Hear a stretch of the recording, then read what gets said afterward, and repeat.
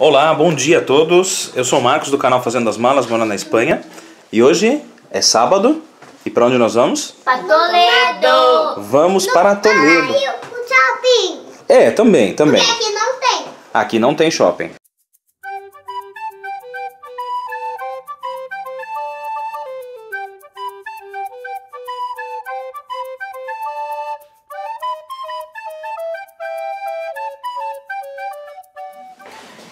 Acabamos de, acabamos de comprar entradas para duas exposições, né, Carla? Para exposições de instrumentos de tortura E, tem, e os Cavaleiros Templários. Cavaleiros Templários. Tinha mais, mais algumas, por exemplo, bruxeria, bruxaria não me interessa nada, catapultas, máquinas de, de, ace- de cerco, não, não quisemos. E saiu 26 euros a entrada pra, familiar, Familiar. para todos nós, para Carla, para minha avó, para Lívia, para mim Pra e para Clara, para os dois museus. Ah, essa conhecida forca, onde enforcavam as pessoas. E pensar que isso foi utilizado como julgamento da própria igreja, né?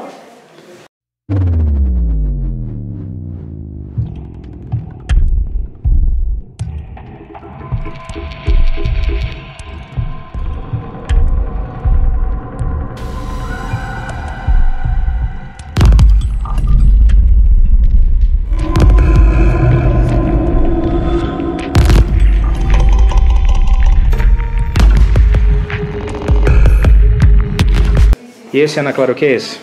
Eles estão vendo. O garrucha. Eles penduravam as pessoas com os braços, a espalda, que faziam os de, de, deslocamentos. Deslocava os membros. Sim. Deslocava os membros. Sim. Que da clavícula, de várias Os braços, das pernas, né? Tendiam aqui, iam girando. E depois ele solta a pessoa que fazem fazer outros deslocamentos mais permanentes, quando eles soltam com tudo isso. Sim. Quando a criança é ingênua, né? Que dó. A Lívia olhou pra mim, olhou no desenho e falou: Olha, mamãe, que legal, um balanço. Esse agora é o garrote. Eles amarravam a pessoa aqui, ó. Amarraram? Amarravam. Sentavam, sentavam, então, amarravam. Eu falei amarraram. Eles amarravam as pessoas aqui sentada e aí prendiam aqui o pescoço ou a cabeça e vinham tensionando, tensionando e esta, conforme girava isso aqui entrando na cabeça da pessoa, enfim. E acho que ele doía, sabe? Eu acho só. Este roda de despedaçar, usada em crimes muito graves. O réu desnudo era colocado no solo com a própria roda ou com massas e fraturavam ele, ou todas as articulações e ossos das extremidades.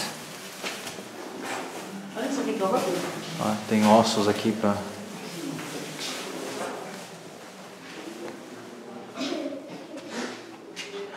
Isso aqui sentava uma pessoa aqui em cima. A cuna de Judas.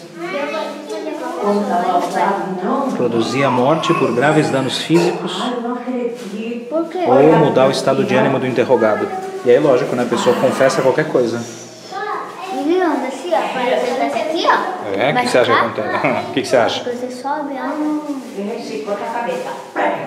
A cabeça cai. A fogueira, esse aqui, né? Ai, olha esse monstro aí. Poste. Esse bicho feio.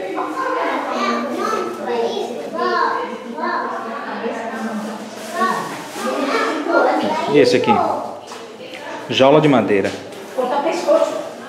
E o pai? Coloca o pescoço aqui. é. Isso aqui era para expor a humilhação da pessoa. Prendiam a pessoa numa jaula dessa, penduravam e humilhavam a pessoa. Aí. Vergonha, o medo da morte. Jaulas construíram de, ma de maneira que a cabeça tivesse o menor movimento possível. Enfim. Essa aqui é a guilhotina.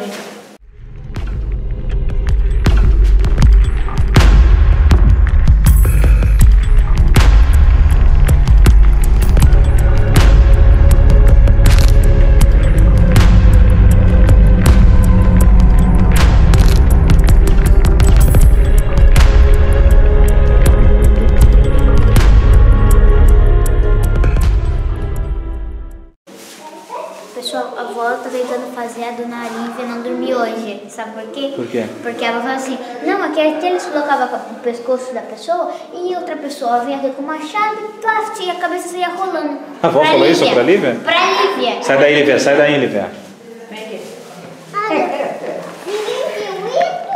E esta roupa é a roupa que eles punham nos, nos que eram condenados pela Inquisição. Caminhavam com essa roupa até a sua execução. Olha só, isso aqui se chama pera oral. Era usada no ânus, na vagina, ao abrir-se dentro da cavidade, esses pinchos, né, os espinhos aqui, as pontas, eles se desgarravam dentro das paredes do intestino interior da vagina. Se usava na boca contra os predicadores heréticos, vendo? As pessoas que iam contra o que a igreja dizia, enfiavam isso na boca e abriam isso dentro da boca da pessoa.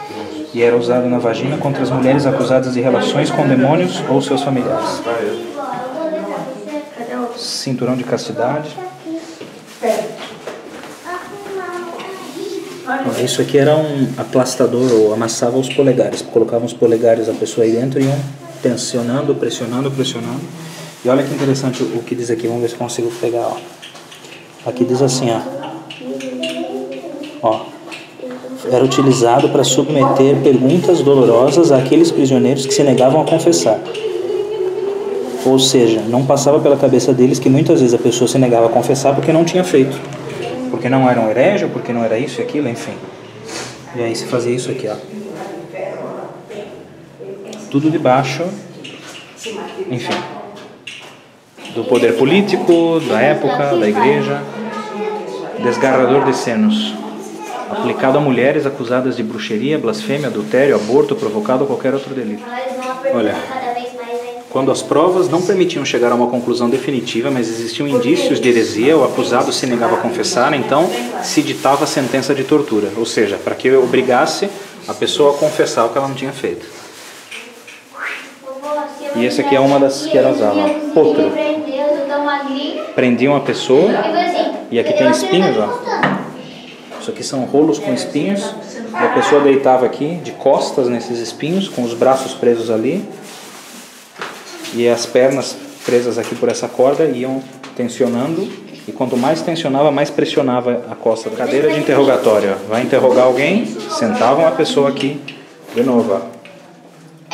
Madre minha, é afiado, é muito afiado. Isso aqui sangrava a pessoa inteira. Santo Deus, que loucura.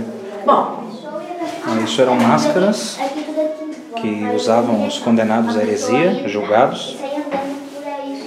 E além de impedir a pessoa de se alimentar ou beber com normalidade, isso causava desgaste da pele, feridas e também a humilhação pública, porque a pessoa ia nas ruas com máscaras assim, ou assim, ó, que eles vestiam nas mulheres.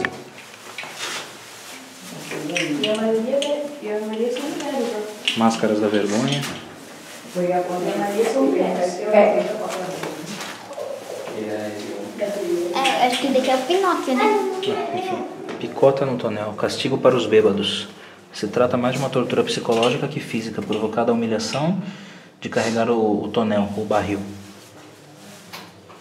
Ah, to- o barril podia pesar até 50 quilos ou mais É para os bêbados. Eles ponham. e movê-los suponia um esforço considerável. Aqui 50 quilos. Esse aqui não tem nada. Deixa eu. Essas eram as armas que usavam os carcereiros.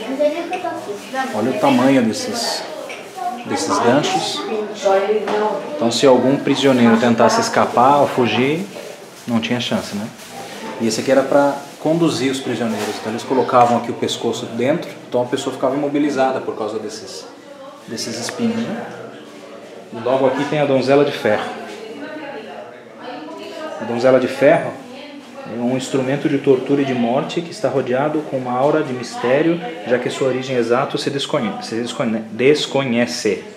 Existe uma referência a um sarcófago desse tipo utilizado no século XV para para trazer justiça a um falsificador de moedas. Se utilizou sobretudo na Alemanha até o século XVIII. Então prendiam uma pessoa aqui dentro, fechavam ela aqui com esses espinhos aqui, essas pontas, não dá para ver, né? Mas está cheio de pontas. Deixa eu tentar usar aqui a luz do meu celular ah, para que vocês vejam. Ah, Agora sim. Ó. prendiam uma pessoa aqui dentro. E fechavam isso. Ah, tá.